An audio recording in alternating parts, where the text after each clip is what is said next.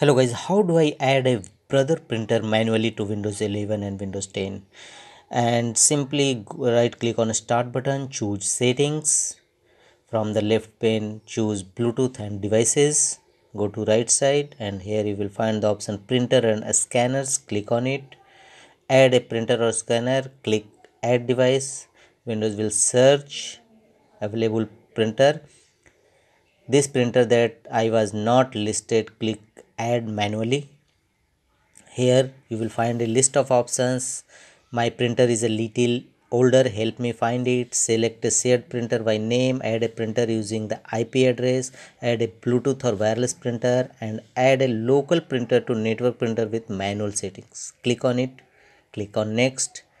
Use an existing port. Choose a printer port. Click on next. Install the printer driver here choose your printer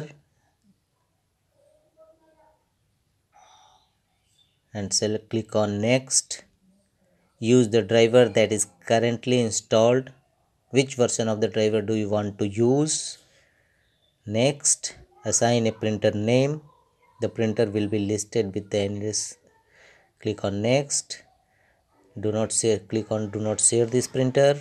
Printer sharing mode if you choose uh, center, uh, share this printer input the uh, data click on next and you have successfully added printer driver set as the default printer check it and print a text page for correctness of printer. Finally finish button and